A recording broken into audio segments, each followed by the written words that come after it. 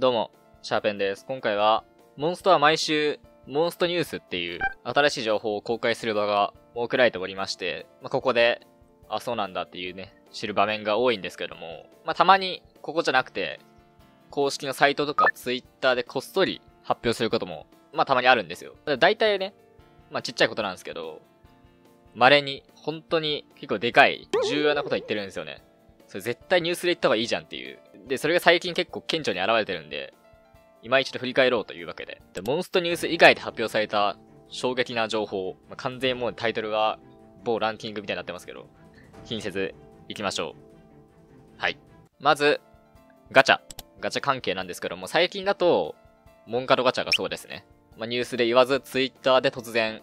明日やりますっていう、あの行為ですね。まあ、秘密にしといて、その間にね、オーブ使わして、亡くなった瞬間にやるよって言って課金を煽るっていう手法だと思うんで、まあ、おそらく儲かるんでしょう。で、これ、まあ、昔を振り返るとあったんですよね。えっと、大体毎年6月頃、オールスター感謝ガチャがこれで大体開催されてますね。この明日やるよ方式。で、しかもあれ確か前例は3日間とかあるんですよね。1日10連1回だけ引けて、星5 1体確定みたいな感じで、まあ、美味しいんですよね。これがね、突然明日って言われるんで、ちょっと厳しいものがありますね。今年もね、そろそろ6月が来ますけど、注意した方がいいですね。オールスター感謝ガチャ。2年連続ですからね、現状。常にオーブ100個は持っておいた方がいいと思いますね。で、まあガチャ以外だと、にじみ玉の降臨とか、あと、ルローニケンシンコラボとかも、ツイッターとかで初めて情報が解禁されてましたね。これもよくわかんないですよね。両方ともね、新しくてしかも新シリーズの爆絶の降臨と盛り上がるコラボ。両方ともニュースで言うメリットはあると思うんですけども、これもなぜかツイッターで発表されて、謎は深まりますね。で、まあ、あともう、すごい最近なんですけども、激究極関係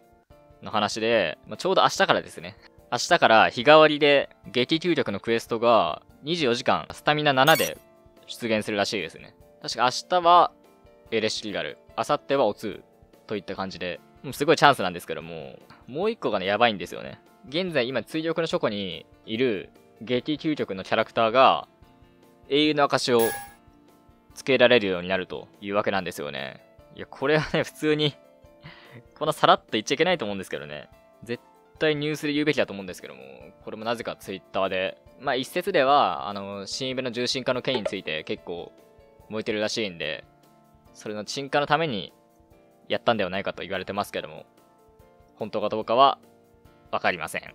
あとはまあ重心化関係ですね。天草とかベルダンディみたいな感じで、動画の企画の最後の方にイラストが公開されて、まあ性能とかはニュースで発表という感じにしたり、まあ最近のサラマンダーみたいな感じで、謎を解いてキャラクターを導くって感じにしたりとか、まあこれもニュース以外で発表ですからね。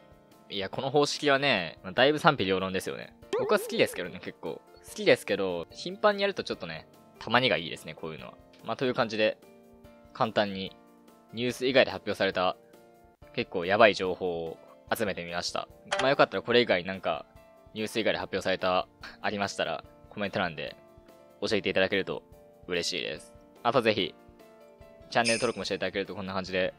毎日もその動画投稿してるんでよかったら登録していただけると投稿していくモチベーションにもつながるんでどうかよろしくお願いします。ではご視聴ありがとうございました。